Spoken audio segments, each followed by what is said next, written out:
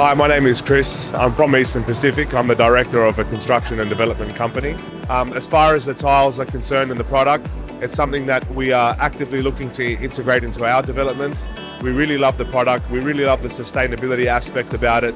We really love the uh, uniqueness and the niche um, product that's being produced.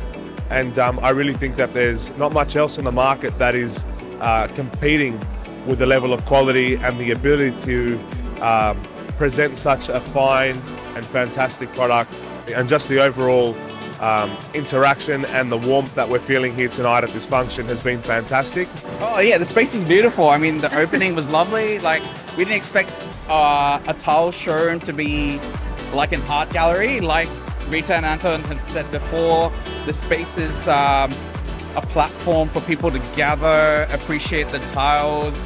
I mean, uh, there's a lot of like emulation of natural stone. So it's like something sustainable that they're putting forward and something new to the market.